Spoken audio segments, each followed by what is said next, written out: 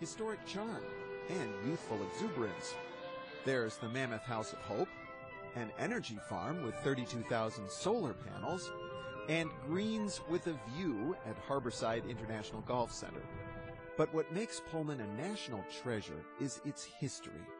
This is where George Pullman set out to transform American industry, but his story is as tragic as it is triumphant. Pullman had risen to fame after the sleeping car he manufactured was hitched to the funeral train for assassinated President Abraham Lincoln. The notoriety attracted investors and demand for Pullman's next generation of cars, dubbed Hotels on Wheels. The Pullman car was the epitome of luxury travel in the 19th century, and it put the town of Pullman on the map, literally. To ramp up production, George Pullman bought 4,000 acres near Lake Calumet in 1880 and built a company town, which he named for himself. Much of that town is still standing today. Homes of various sizes were rented to workers according to the employee's status. As with everything in his empire, the town was expected to earn a profit, and the Pullman Company controlled everything.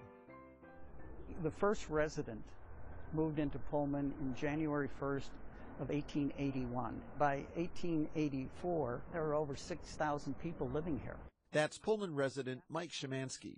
He's the president of the historic Pullman Foundation. And the idea was the people that came to work here would have good housing and all these amenities.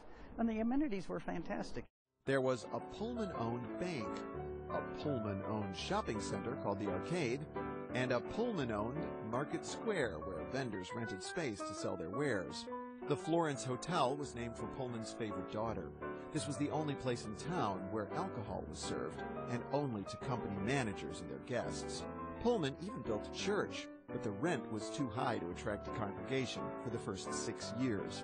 Pullman believed his spotlessly clean town with its wholesome amenities would create a new kind of factory worker, one that was sober, hardworking, and and of course, if they're happy workers, they won't join a union, right? Well, there won't be a need to. I mean, and and things went along fairly well. And it wasn't until the Great Recession, 1893-97, that uh, screwed things up. That was the start of big trouble in Pullman's paradise. To make ends meet, he cut workers' wages, but he didn't reduce the rent for workers' housing because he had guaranteed a profit to his investors. Pullman's employees walked out on strike on May 11, 1894. The American Railway Union, led by Eugene V. Debs, got workers across the country to refuse to operate trains with Pullman cars. Pullman refused to negotiate, and federal troops were called in to break the strike. Violence erupted, and several workers were killed. Debs was jailed, the strike was broken, and Pullman reopened for business. But in the aftermath, a federal commission condemned Pullman for his actions. Three years later, George M. Pullman died of a heart attack. Many accounts say that his grave at Chicago's Graceland Cemetery was reinforced with steel and concrete out of fear that his body would be desecrated. He was the focus of a lot of hatred. Did he feel misunderstood? Oh, I'm sure he felt he was misunderstood. He was more of a person who wanted to provide people with opportunities and be a great capitalist. And he ended up between a rock and a hard place during the strike because, on one hand, he had responsibility to his stockholders, his bondholders, and he also felt some responsibility to the community that he had created. Why did the National Park Service name Pullman a national monument?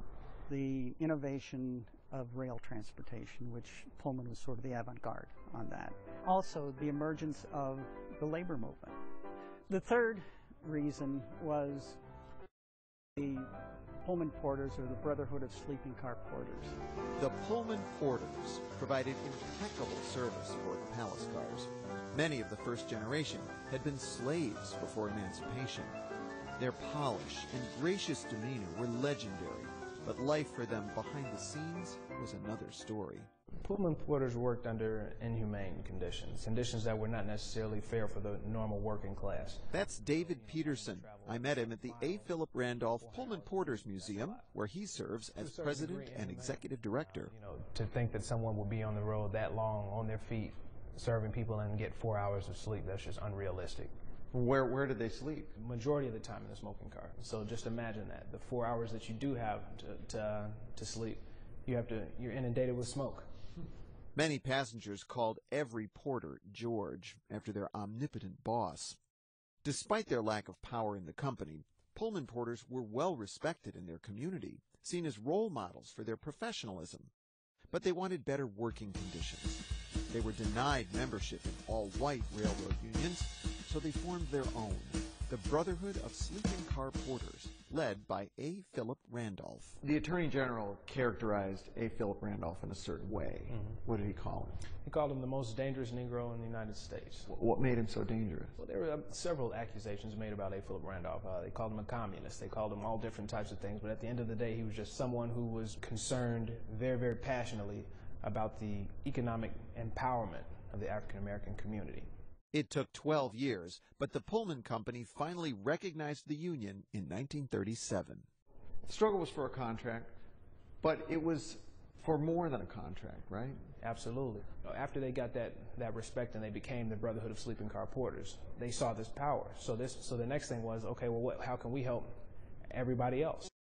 It really becomes a, a big component of the civil rights movement. A. Philip Randolph and the Pullman Porters are the grandfathers of the civil rights movement. That's why today I'm designating Chicago's Pullman District as America's newest national monument. The Pullman Company stayed in business well into the 20th century, but demand for Pullman cars fell off with the decline in passenger rail travel. The company closed the plant in 1957, and the neighborhood began to deteriorate. Neighbors banded together to fight a plan to bulldoze all of Pullman in 1960, beginning a slow process of landmarking and restoration. In a heartbreaking setback, an arson fire destroyed much of the old factory, including its famous clock tower, on a cold December night in 1998. But the state has been rebuilding it, and the National Park Service plans to use it as a visitors center for the National Monument. Today, there are encouraging signs as factories return to Pullman. This one plans to clean up. The South Side Soapbox. That's the nickname of San Francisco based Method Soap's 22 acre Chicago plant that opened in 2015. At first glance, it looks like a rainbow, but the color that really stands out is green. A wind turbine and sun tracking solar trees help power the plant that includes a 75,000 square foot greenhouse on the roof. From soap to suds, Pullman has gotten into the microbrew game with Argus Brewery. Producing beers with names like Iron Horse and Pegasus, this brewer is right at home in the historic Schlitz stables. Most amazingly of all, this 19th century model town is now being seen as a model town for the 21st century. a sustainable new town today. 90% of the same criteria would be used that Pullman used. It was a pedestrian scale community, and it also had a wide variety of housing. By design, it was built to have a diverse community uh, of people at different incomes uh, living together.